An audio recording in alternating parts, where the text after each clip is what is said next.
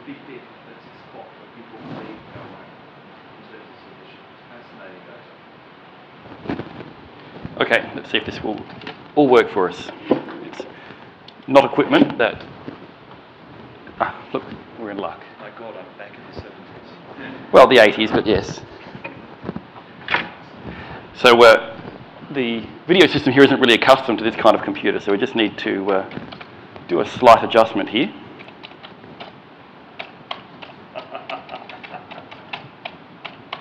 Let's see if I can get it right first time, right? Oh, I'm so happy.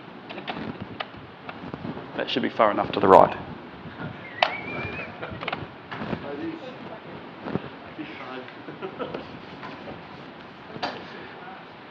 Sorry? How come it's so fast?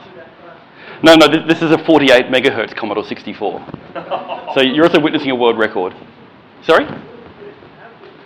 No, that's indeed.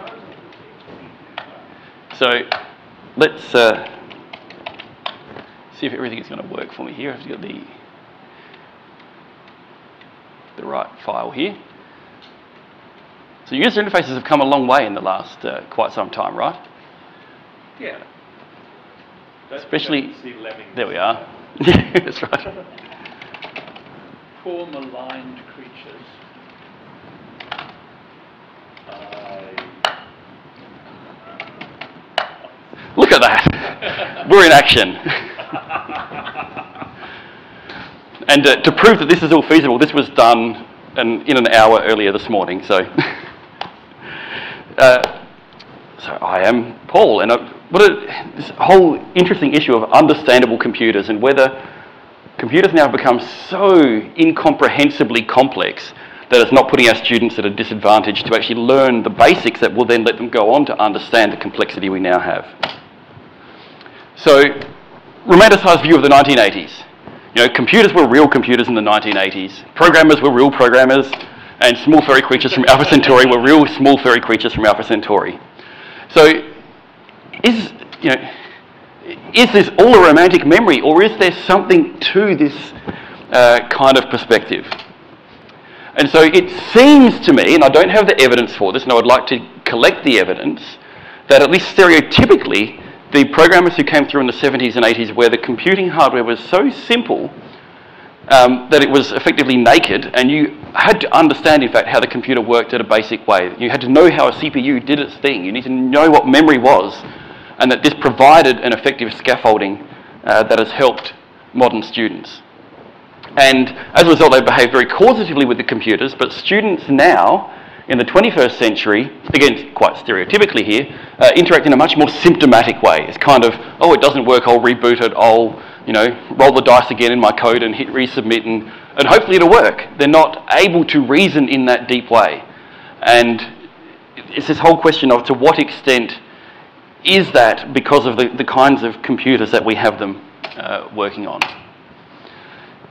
So, and I've kind of said half of now what I'm going through here. So the computers now are terribly complicated, and so real computers aren't real computers anymore, and so therefore perhaps the programmers we're turning out, because of the way we're teaching them and what we, the complexity they're faced with from day one, they don't get to be what we might again romantically like to call a real programmer, uh, you know, who can do uh, crazy but probably useless things uh, with there. So here is the question that I really want to try and explore, and I, I hope to explore over the next uh, year or two if I get the opportunity, is, you know, can we recreate that deep understanding?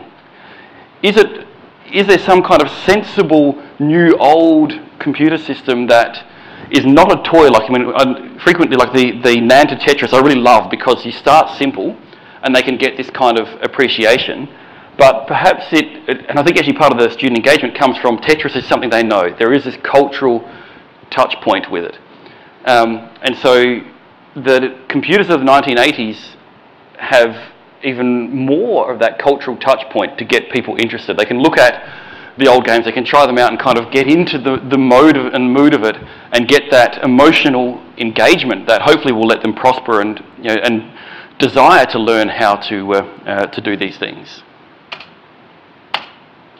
So how would we do this? And I think you know, these are just initial kind of thoughts that I have around this, and I welcome other people's input and suggestions as to how we might do it better. But um, you know, there should be no IDE.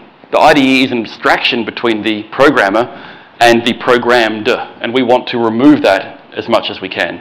Um, oh look, and I didn't delete one of the lines of uh, uh, BASIC when I was writing the slides. Um, but you know, we can fix it, right? Uh, where's the extra line? 120, right? Slide fixed. You know, this is the kind of simple nakedness uh, that I, I think has some value. And so, to me anyway, and it, it's showing biases of how I grew up with computers and which particular ones. I think, you know, BASIC and 8-bit assembly and sort of the, the raw uh, computer is a, a nice way uh, that we can look at that. And so at the end of the day, the goal is no more magic. I don't want the students to be symptomatically interacting with the computer in any way.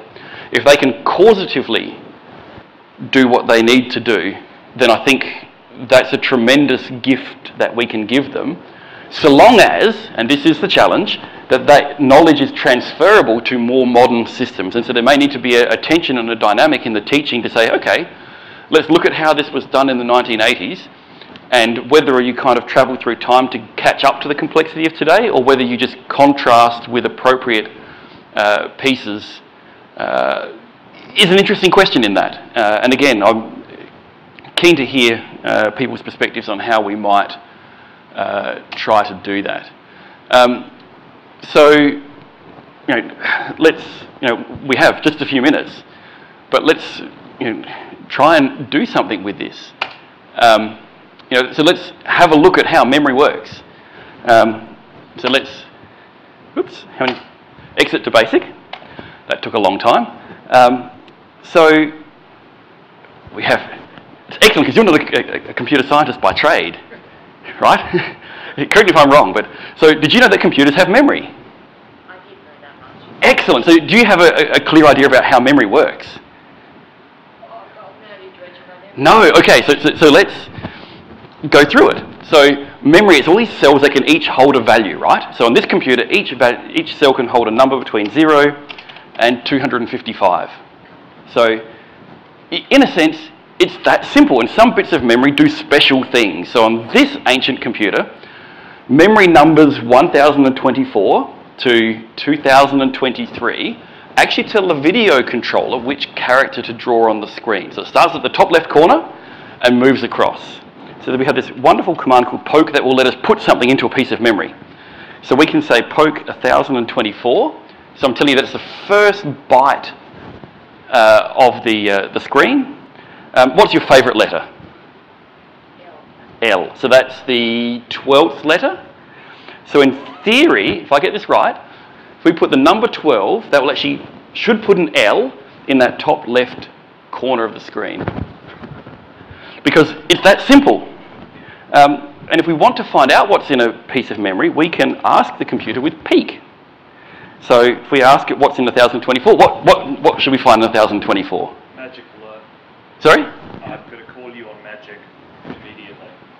Excellent. Because you've got a question mark and you've got extra parentheses. How does that differ from the abstraction of an IDE? Ah, excellent. You're right. And I'll, the answer I'll give to that is I can go through that abstraction in about two minutes and you'll probably be able to remember it.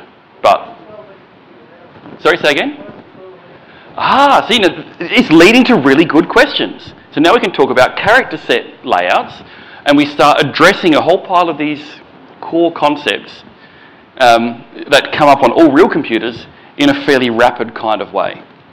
And so we can kind of we can do a depth first search down through all of these questions and come back up again before Christmas. Is my hope. Yes. Which high-level programming language are you giving up for There's a really good question. I'm, Yeah. I'm not trying to. We are No, no, no. We are looking right now about Yep. whether we should be introducing IDEs Yes. because we teach uh, we teach off on the command line. Yep. As in not seriously, but talking loosely about it. Hmm. Um, because of the things we could get if students are not making silly mistakes in Yep. code that can be picked up by spell check. Mhm. At the same time, we switch to C as a programming Yep. language to give students the, the memory model. Yes, exactly indeed. we're Yep. about. But it's such a struggle Mm. because the days of causative, low abstraction, Yeah. low virtual memory system are gone. In, indeed, and so we- we have to make them again. So you know we have, you know, an FPGA board is doing the hard work of giving us VGA output on an 8-bit machine.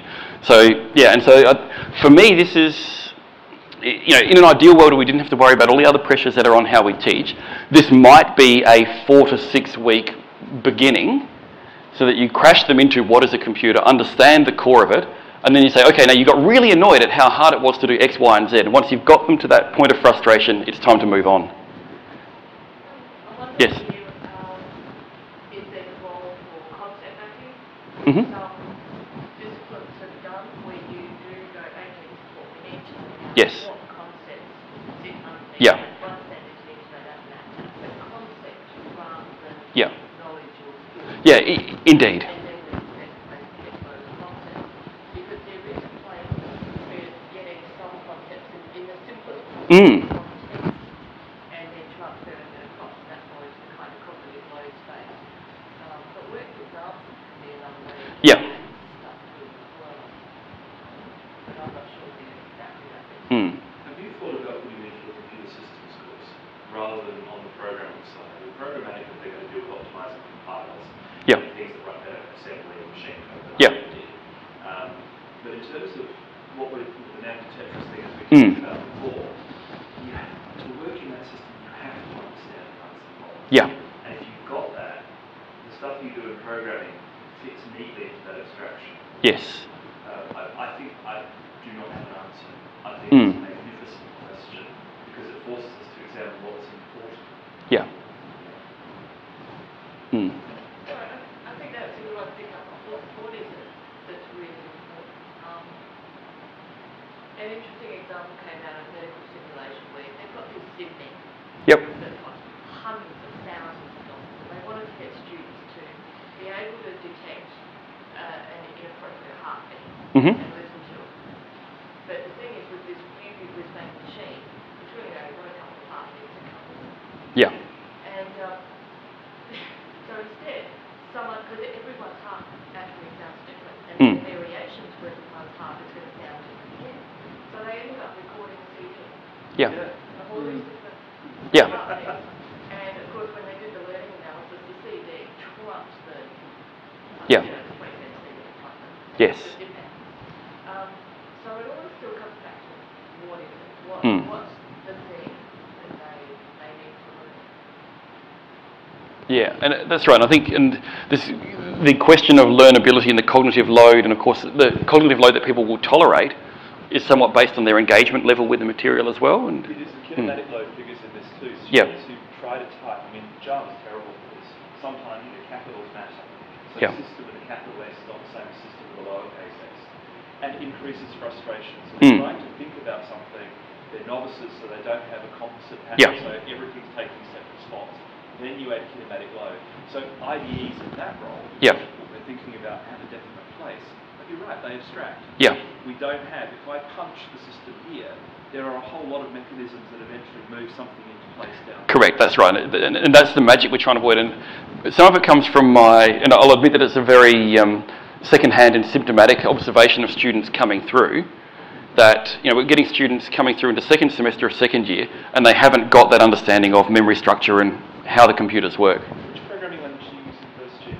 Uh, so historically, for a while, it's been Java, and I don't think that's been particularly helpful in that regard. We had issues with Java. Yeah. People got good at the object model and they had no idea how memory references work. That's the reason. Yeah. I mean, we actually went to C++. Hmm. Which we've done as well for, I think, it's the same reason. Yeah. Hmm. partly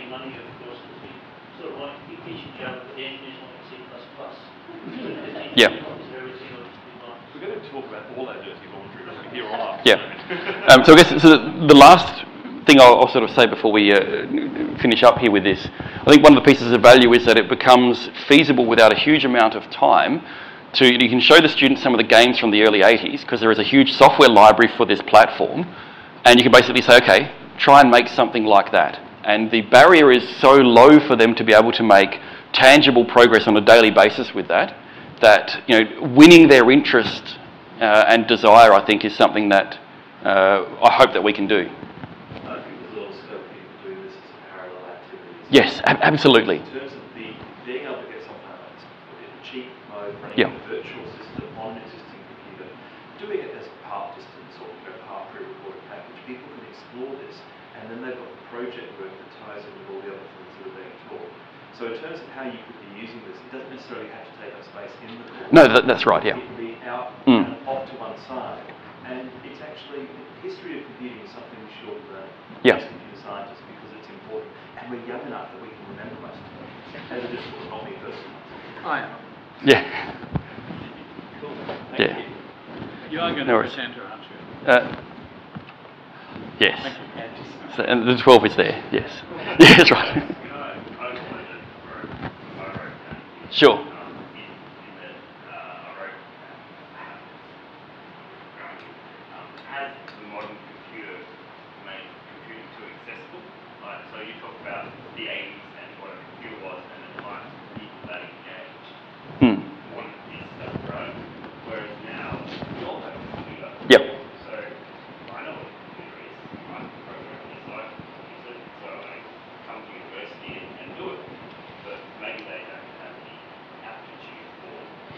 Yeah, and I, I- think there's a really interesting question to go into. Certainly, I think we get more people to the front door, but then the front door is now so complicated that for them to progress into proficiency in causative interaction with the computer instead of symptomatic, that it's now gone from this kind of you know gradual slope to now it's just brick wall and you have to be able to climb 40 feet up glass. There's a, Yeah. There's a new digital technology. There's a new digital technology for for Australian design of reception to be um, in order to try and improve the literacy of people. Look at a computer now, understand what it is, it's not a problem. We provide support resources to teachers, uh, in collaboration with Google. We've had about five thousand teachers go through that, and try and all the resources we've taken that translate to about sixty thousand students around, uh, South Australia, Victoria, and Tassie Hmm. because people don't, people don't know what design is not, they love computers. Um, so it's a real problem, but what we're actually trying to do is move it and upload it to us. Yeah. Because computational thinking, all the machines around us can do is what to do, and you have to think in a way that's going to work with that. Because that's Yeah. kind of how we build the world. So that's, so I, I do take the point, but it's something that's being worked on at a national scale Mm. as an educational project in primary and secondary school. I don't think everything Yeah. is going to uni, and they actually program it for, because then we could just teach them. Yeah. And, and I think maybe my, final statement as I hand over the microphone is actually to say that this approach, I think you could take straight into primary schools. You don't have to wait till they come to university. You know, primary school kids were doing it in the 80s. They can do it today.